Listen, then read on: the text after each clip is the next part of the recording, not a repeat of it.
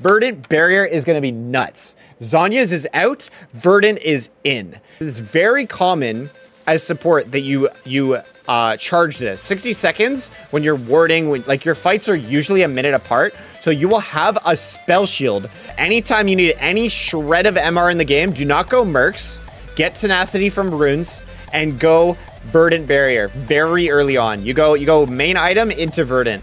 Oh my god, this item is to be so fucking sick.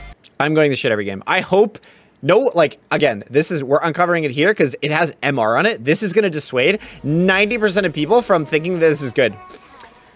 Everyone's going to look at this. They're going to say, oh shit, like, AD team comp, like, I'm not, I'm not running it. This thing is broken, brother. Oh my god.